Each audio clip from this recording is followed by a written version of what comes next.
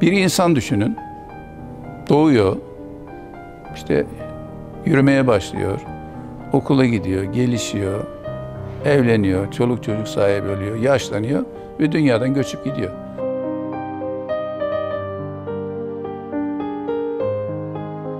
Bir gün olacak bizler de olmayacağız. Bakın bu bir gerçektir. Bugün varsınız ama yarın ne oldu hiç belli olmaz. Bu yaşıma kadar ki dikkat ettiğim en büyük kazancım güven meselesidir.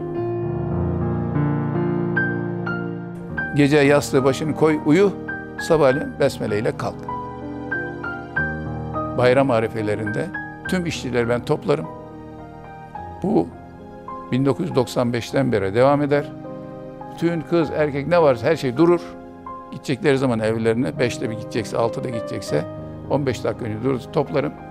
Bir kere onlarla helallaşırım. Derim ki dünyanın bir türlü hali var. Sizler seyahate gideceksiniz, köyünüze gideceksiniz, işte e, uzağa gideceksiniz. Dikkatli olun. Aileniz sizi bekliyor.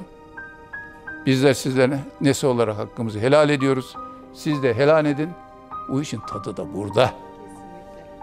Severek alkışlarlar. Tamam.